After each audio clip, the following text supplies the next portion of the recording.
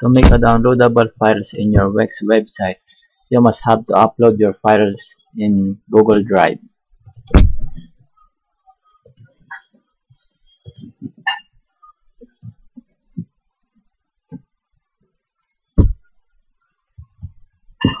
After the upload, select your files, right click and click get shareable link.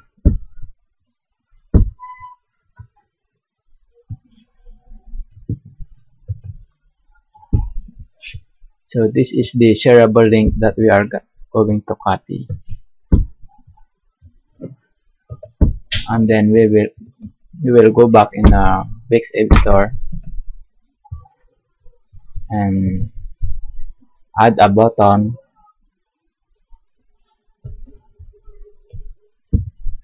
then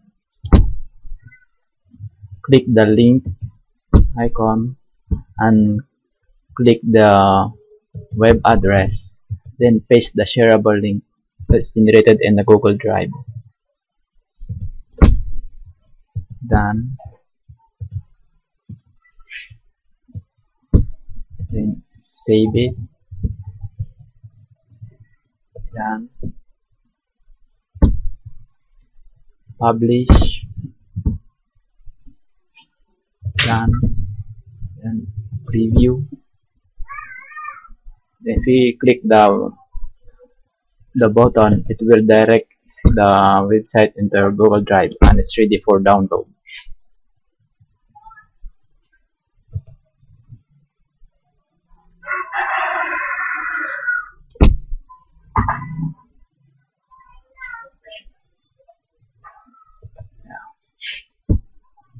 In folder